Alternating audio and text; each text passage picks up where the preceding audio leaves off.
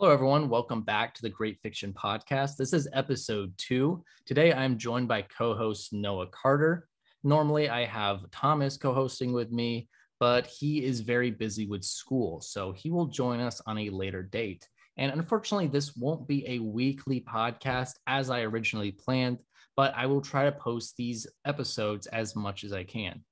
Hey everyone, I am Noah Carter and I'm currently pursuing a degree in economics with minors in computer science and mathematics. Um, I am published with LOPH Business and have some other publications coming uh, pretty soon. All right, everyone, we have a great show for you today uh, I'd like to introduce you to a very special economist and talk about a really awesome paper he wrote. So let's jump into it. The entire statist edifice can be brought down if only the work of the intellectuals is countered by the work of anti-intellectual intellectuals, as I like to call them.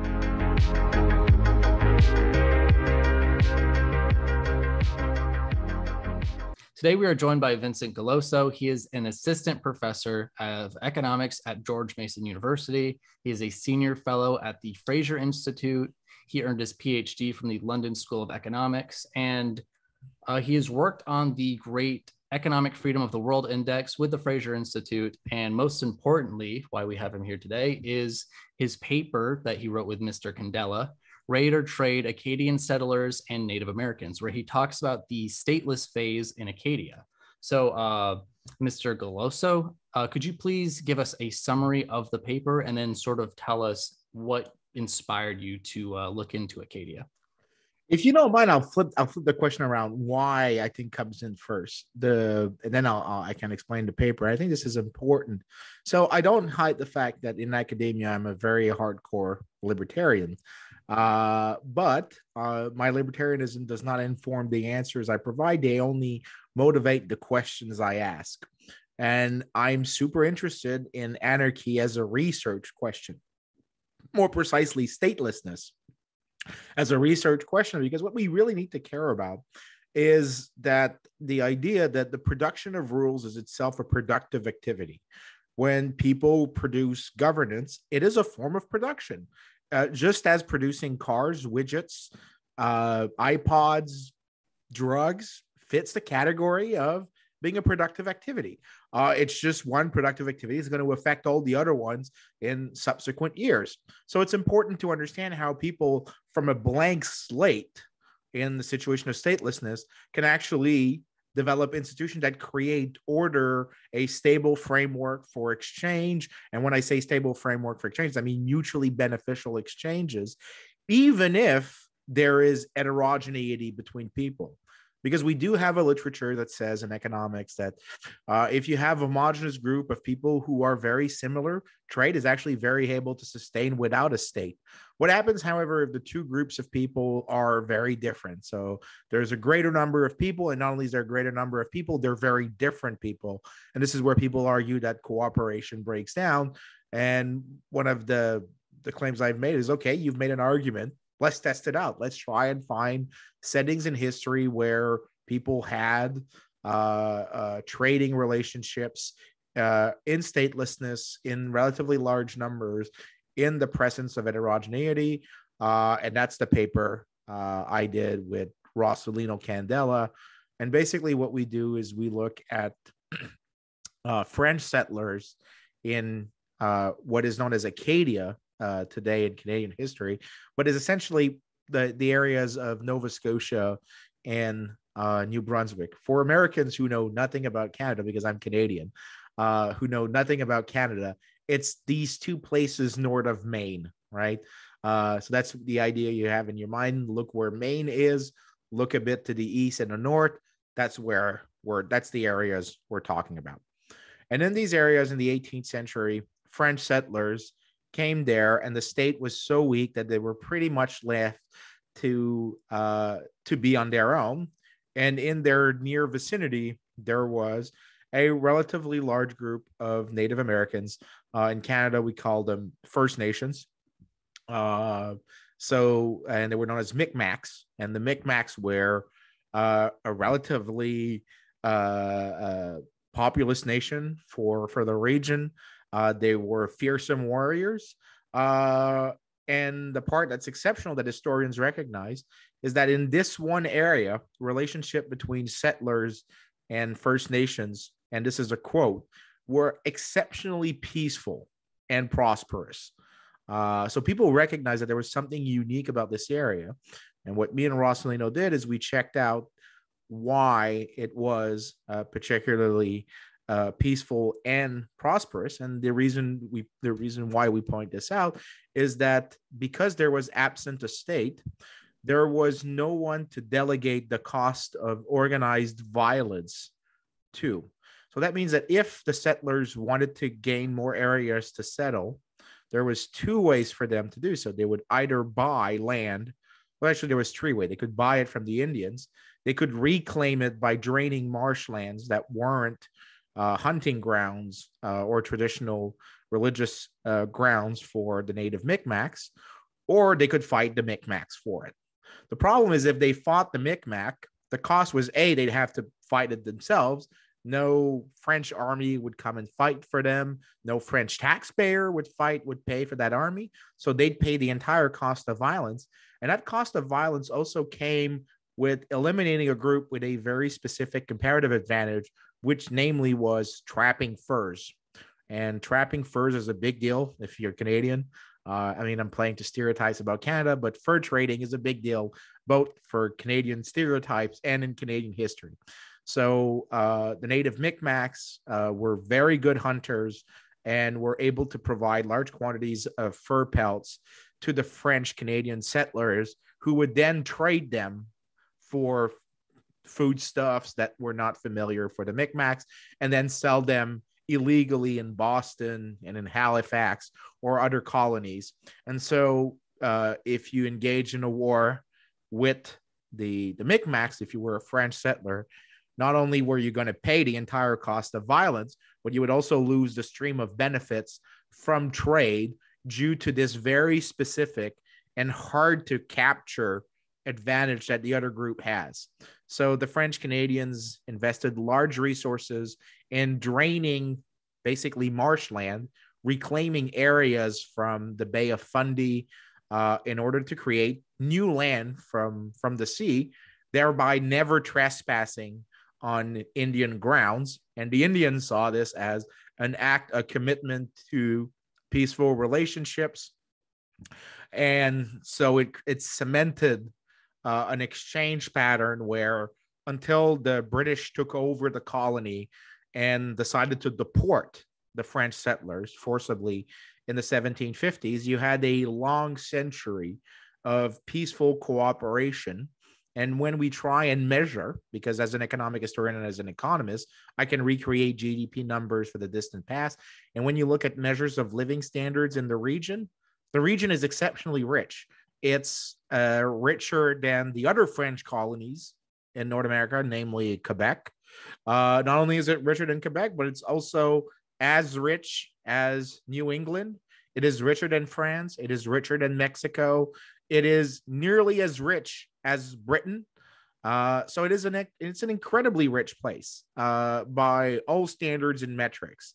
Uh, it's one of the richest places in the world at that time, and the numbers I compute for for Acadia are very conservative. In fact, there's every reason to believe that it's probably even a bit richer uh, than it was. And this was well exemplified in the fact that the French Canadian population there grew at an annualized rate of roughly seven percent, which is huge uh, from a demographic standpoint. Seven percent extra people year in year out without a stop, without a slowdown is is exceptional, and it's a sign of really rapid economic growth uh, so it's it's a good case, I think, for saying that statelessness uh, is able to generate outcomes that are going to be high income, high development, and uh, and also going to be peaceful uh, in a situation like this. Uh, so that's the ver- that, that's the that's the summary, if you want, of why I did that paper and what it says. Right. So uh, actually the way I found this paper was sort of a culmination of three factors. And first was Peter Leeson. I kind of uh, I, I, discovered Peter Leeson a while ago, mostly because his famous uh, Somalia paper. Um, but I was going through his website and I found this uh, paper. I think it was called "Are Anarchic anarcho-capitalist insane or something like that. Yeah, that's And, with uh, me. We Yeah, okay. So you so you helped with that. Yeah, we co-authored that one together. But actually, this this other paper uh, with Pete Leeson is actually a good idea, a good point that we make in the that we try to make that economists need to appreciate is uh, the production of rule is itself a productive activity. And when you compare stateless societies with comparable state societies at the same point in time, they stateless societies are not necessarily bad. They actually have generally very high favorable outcome. So the paper I did with Pete Leeson was take this very classic case in the libertarian and anarcho-capitalist literature of medieval Iceland as being a very free marketplace with an immensely weak state that couldn't do jack shit, uh, and you had no ge- geographic monopoly of violence in any given area. People could move between chieftains. It was closest thing to a stateless order you would you would observe, but no one had actually tried to measure outcomes. So using the Gragas, which I'm pronouncing terribly, uh, which were early, uh, basically common law books, if you want, that repertoried discussions between chieftains. Uh, they have prices, they have data about wages. So we were able to recreate some information about living standards. And what we find is that uh, medieval Iceland, despite being Iceland, right? So it's a barren, inhospitable land at the edge of the world. It's cold, it's dark. I wouldn't want to live there today, even though it's a rich country. Uh, but back then, it was also a relatively rich country. It was richer than any area in the Mediterranean basin. It was probably richer than France, which in the medieval period was probably the richest region of Europe. It was also pretty much on par with Britain, which is a big deal. Uh, so that's observed in terms of wages, uh, wages and how much they commanded in terms of goods. You can also observe it in genetics in stature. So generally, the height of people. So you use so if you take dead people and you measure how tall they were in terms of their remains, you can get an idea of their level of nutrition. The idea is that well-fed people are generally going to be higher income people, and because they're higher income and better fed, they're going to be taller. So you can take the height of a person and infer all the rest from that.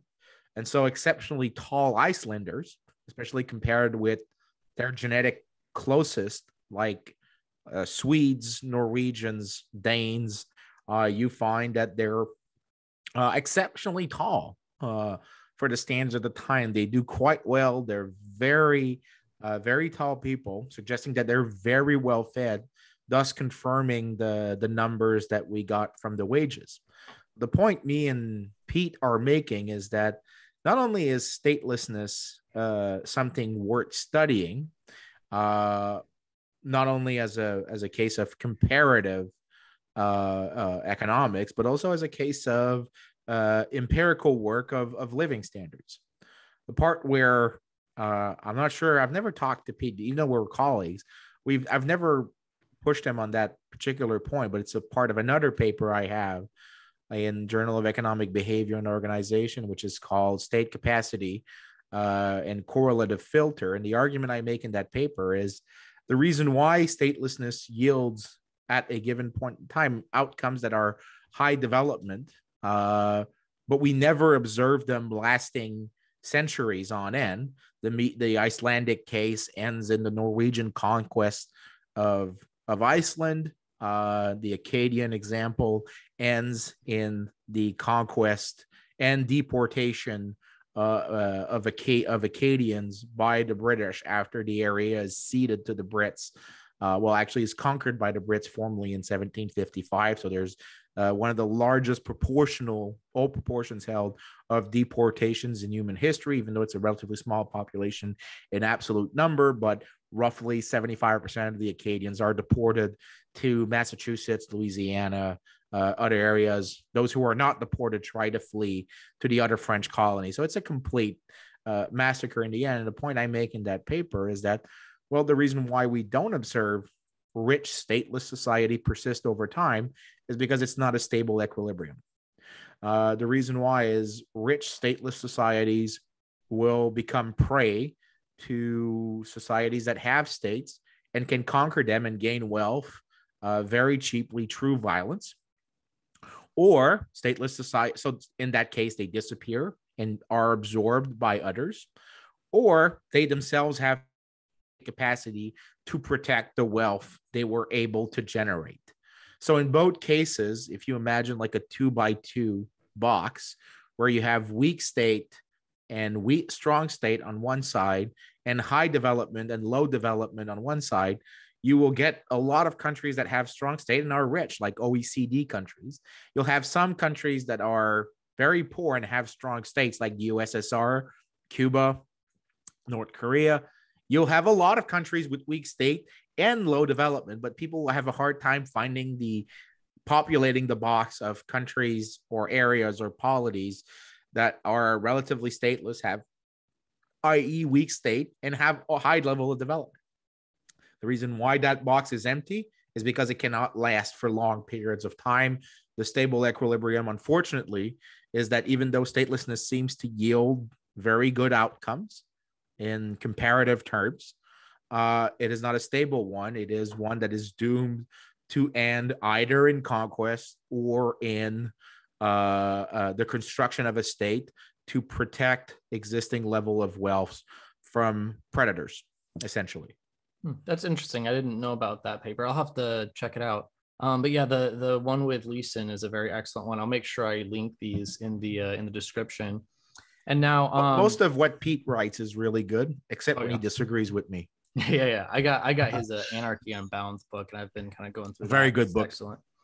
Um, and now what else caught my eye about your paper is specifically the title because I was familiar with Anderson's paper from 94, which is excellent. I loved it when I found it.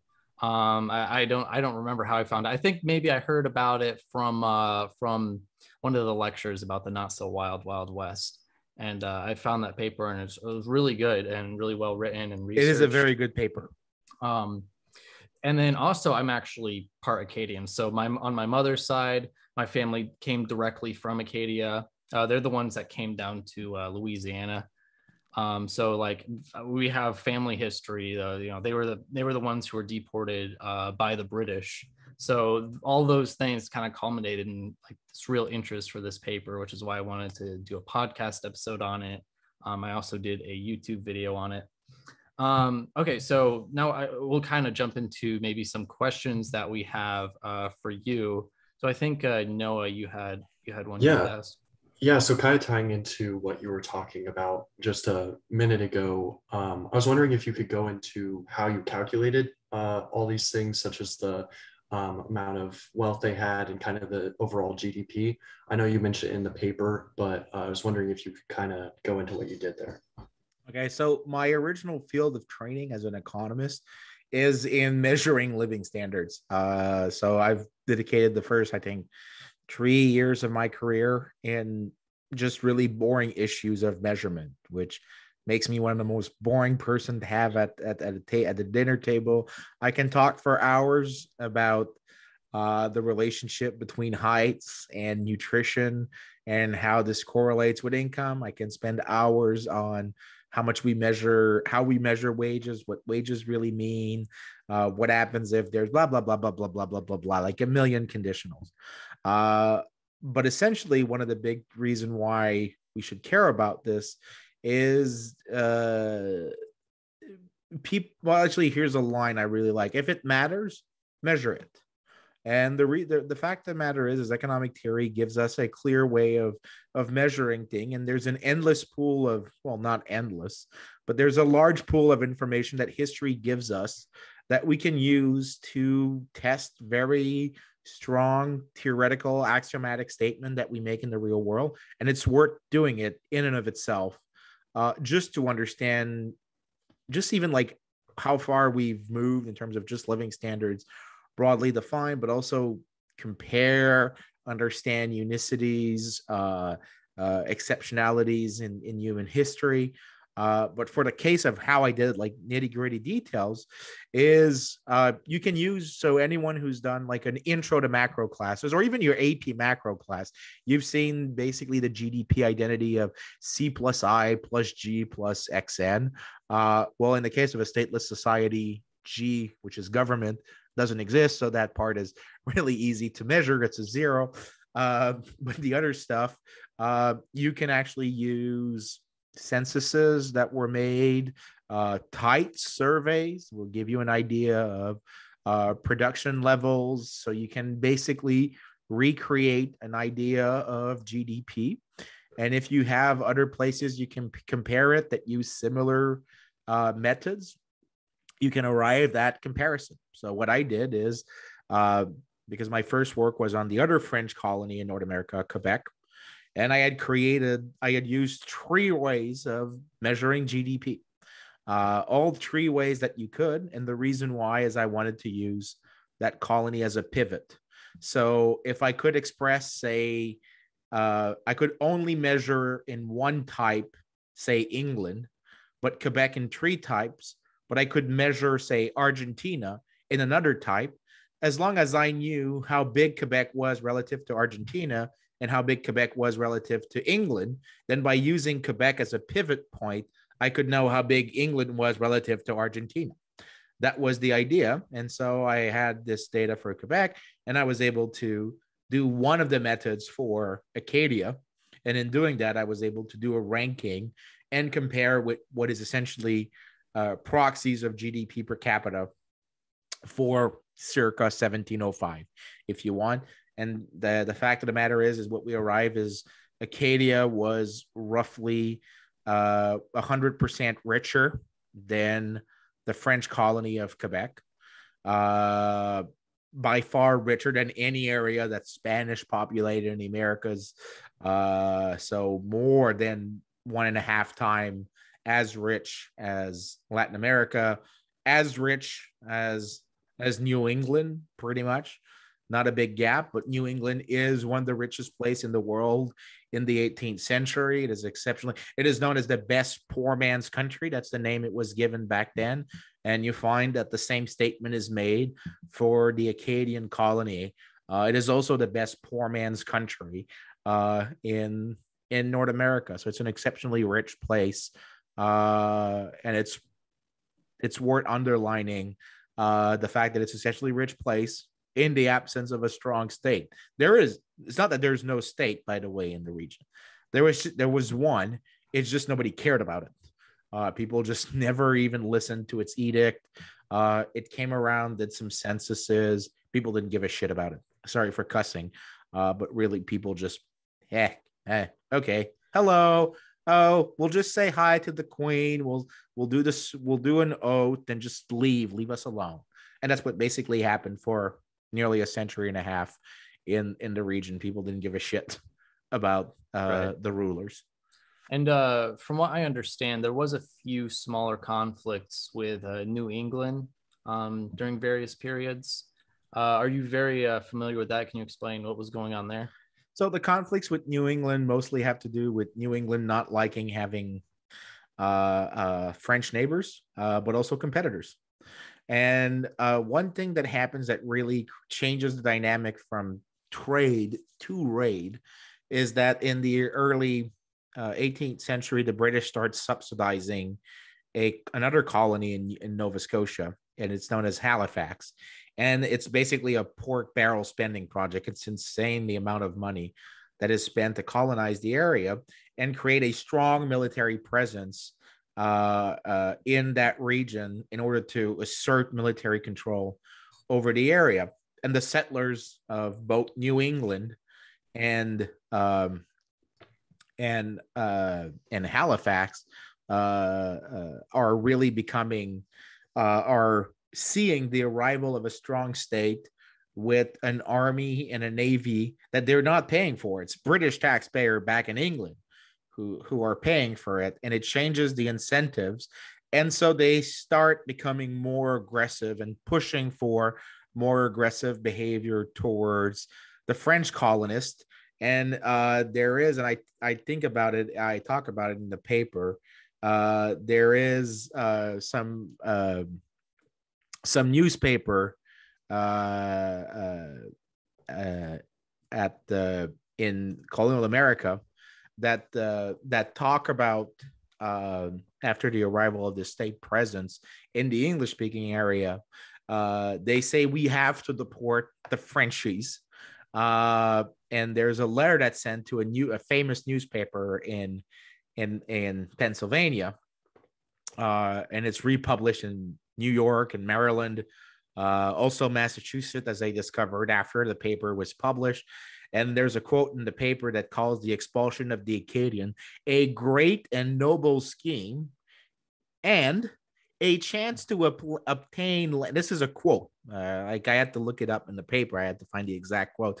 A chance to obtain land quote as good as any in the world. Uh, it is clearly a rent seeking operation but what happened here is in the trade or raid model is you trade as long as the cost of negotiation are inferior to the cost of fighting all else being equal.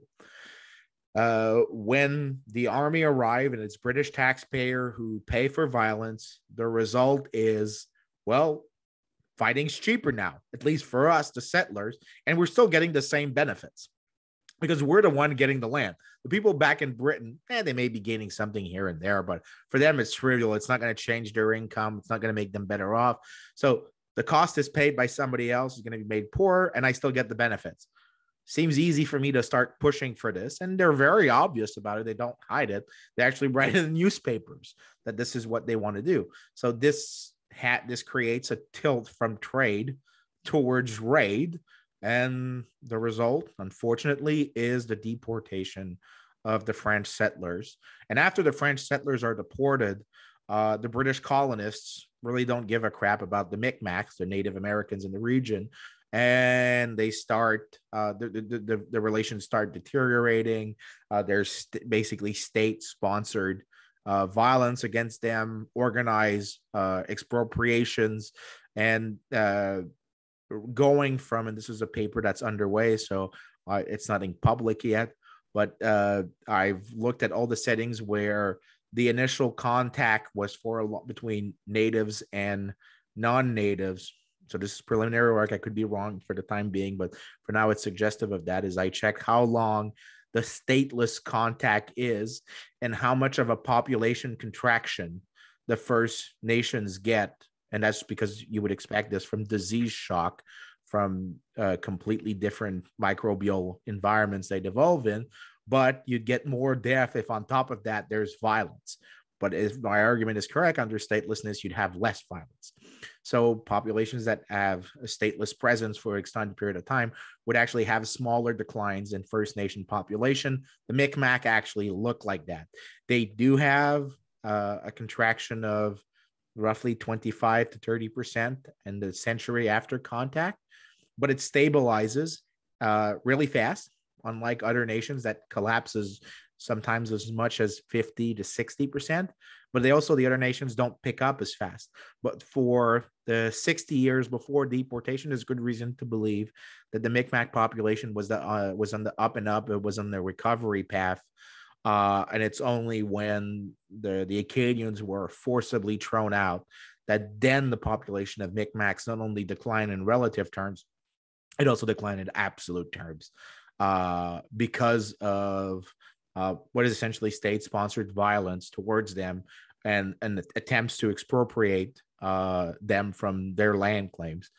Uh, so the result was uh, lower outcomes, not only for the French settlers, which is easy to understand. They've been deported, their farms have been destroyed, their cattle has been seized. It's very straightforward. But in the longer run, it also has impact on the Micmacs. They lose their trading partners, but eventually they also lose an ally. Uh, they also gain a, a, neighbor that is more hostile towards them, and the result is the, the demographic demographic decline and falling living standards as well. Right, and didn't even the uh, Acadians try to uphold, you know, things like gun rights and property rights for the uh, for the Micmacs? Uh, yeah. So the, the, the Acadians really didn't care what the Micmacs did. Uh, there's actually so in there the system of how they operated. Uh, in draining the marshlands, you had, well, this is getting into technical details, but you had to organize dikes, uh, basically constructing very complex dikes to drain uh, lands, but also to create uh, water control systems. And these required a lot of coordinations.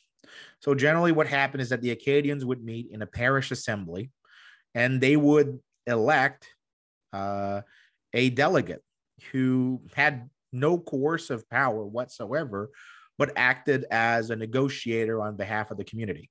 Uh, he would also be a mediator in conflicts. He was generally a well regarded person, a person of certain wealth, but people who uh, he would be trusted. He could be evicted the following year. Uh, he was imputable for his decisions.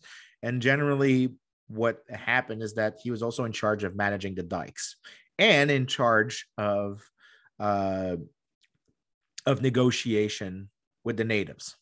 So he would make sure that people would not would be working on the dikes to open more land rather than move inland and trespass on native hunting grounds. And because he would basically organize the production of the dikes themselves, he would mix it with the production of negotiations with the Micmacs. And by being able to do the two at the same time, his incentives were aligned in ways to not cause violence to uh, to erupt. Uh, and the fact of the matter is, is there was uh, great trade between both groups. Uh, notably, one of the things the natives liked a lot was firearms.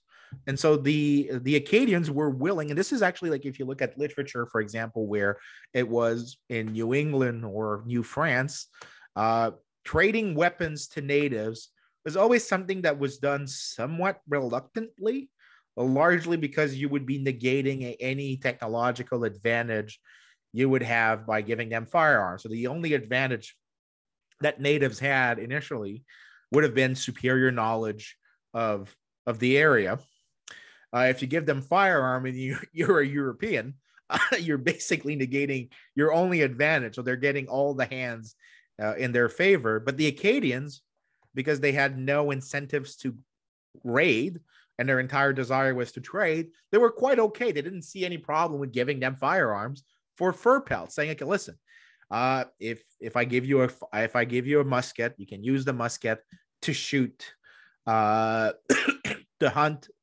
uh, more easily other animals because you didn't want to shoot the the beavers, right? You never wanted to shoot uh, the beavers because if you did shoot the beavers, uh, their pelts would be worth so much less. But if you gave them a gun, they would be able to hunt pat- uh, patridges or quails more effectively, and so allocating more resources to the hunt uh, of beaver, and so they'd be more productive. So the Europeans, the Acadians, were quite okay with trading firearms because they knew it would be used for hunting and they didn't have they didn't see it as there would be a conflict in the future. So you were in presence of two heavily armed group because the acadians were also well armed. We have some data in the censuses of the number of firearms they had. So they were very well armed on both sides uh, but it was the acadians who armed the other side by trading which suggests that eh, i'm not that worried about the outcome so you were really in a, a trading environment because there was no gain to be had from violence, more specifically because the advantage that the Micmacs had could not be seized by the Acadians. The Acadians fought the Micmacs. Yes, they'd get their land, but they'd lose the comparative advantage that is not appropriable that the Micmac had in collecting fur pelts. Oh, and uh, speaking of the parish assemblies you mentioned, so of course they sort of use this uh, collective decision making and then sort of this semi democratic process of electing someone like you said, a representative. Um, but uh, like in talking to mostly anarcho communists about Acadia, what I've found is they'll try to claim it for themselves. They're like, oh, they were communists, they were communal. But uh, from what I've read, like uh, Greg- Gregory Kennedy, who wrote some on the uh, parish assemblies, he pointed out that you know Acadians weren't collective. And yeah, I made sure I, I, read through as much as I could find on this. I was trying to find books and, uh, and papers. Um, but yeah, he pointed out that they didn't have collective property or revenue that uh, he could find at the time. That was back in 2008. Um, so as far as what you found, but but you know this uh, is this is something where people don't understand economics. right? Uh, uh, communal property arrangements can still be private property arrangements. Uh, the thing is, is it matters to the unit that's organizing the property rights. So it technically, like, think about your family. Within your family, there is a communal arrangement of food in the fridge, right? From the vantage point of the rest of society, it is a private arrangement from them towards you. It's just within that particular form or group, you're organizing production in a particular way. Uh, the Acadians are thinking, okay, we have to trade with this other group. Uh, how do we organize production within ourselves in order to do so? It's not that there's no property rights, it's that there's a different arrangement of property rights. So there's like people think of property rights as I have a land deed. It doesn't work like that all the times. What is property rights? And this is this comes from Ronald Coase. It's a bundle of rights and liabilities that you engage in a trade. So I have obligations. So let's say you and I do a trade. I have liabilities to you, you have liabilities to me in the contractual arrangement we've made. And I have rights, and you, your liabilities are my rights. My liabilities are your rights. And we're trading them and we're rearranging bundles of liabilities and rights in order to create trade in order to incentivize trade. Now, you could call it communal. You can have a system of deliberation where people debate how they want to do it. I don't care. Uh, from the vantage point of an economist, for me, it's just a different mode of, of production. And whichever people have found, and this is the Pete Leeson argument about everything, uh, since we're colleague, I'm quite okay with. Uh, plus, we we write we write we write together. That was very Elmer Fudd of me. We write together uh, we write together a lot, so I'm quite okay with publicizing him because it publicizes me at the same time.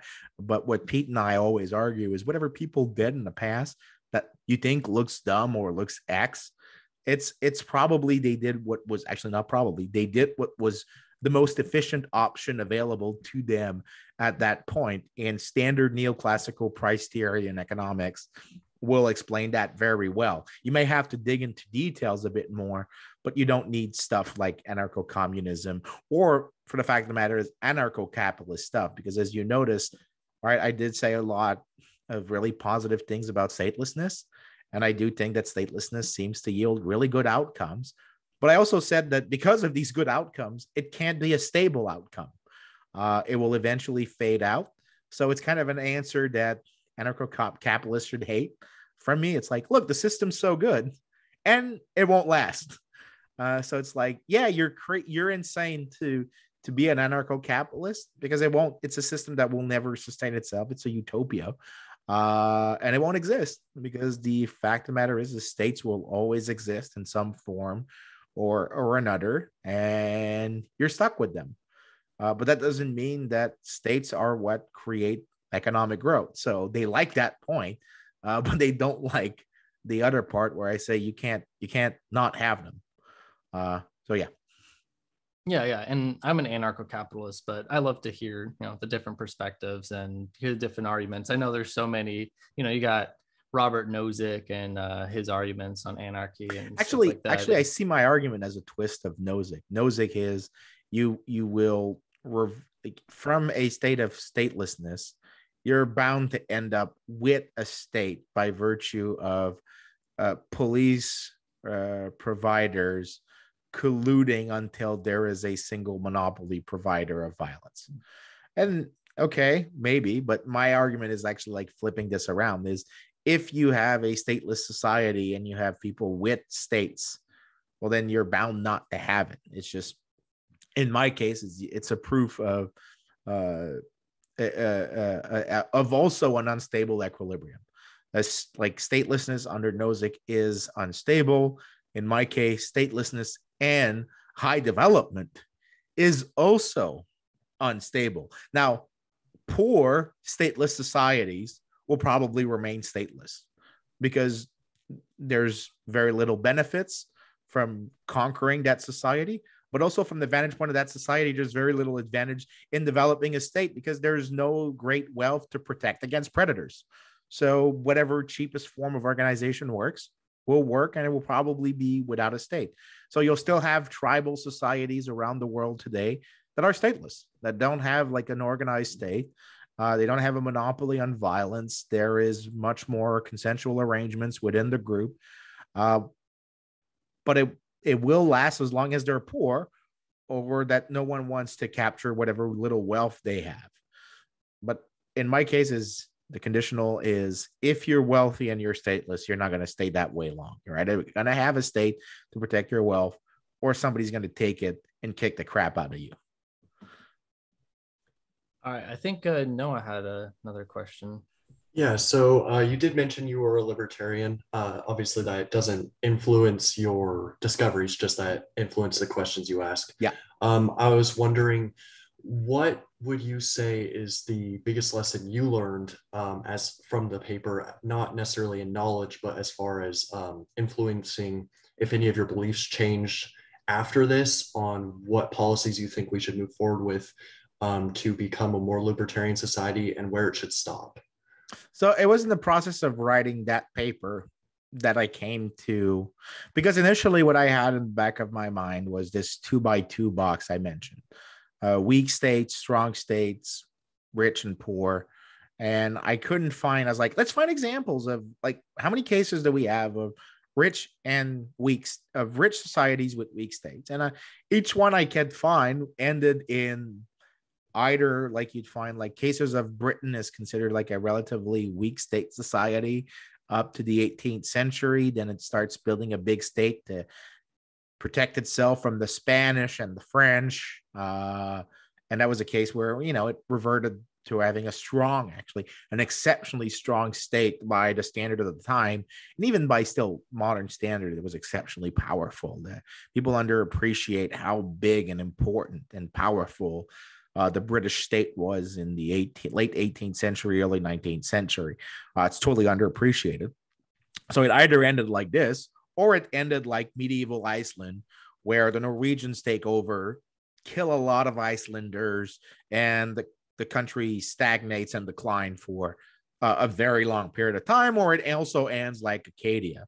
I had other example. I was finding like the Métis of the Canadian prairies, same unfortunate development. Uh, the uh, the I'm doing work right now on the uh, slave fugitives in Jamaica. Seems like it follows the same pattern. So why is it that the box always emptied itself?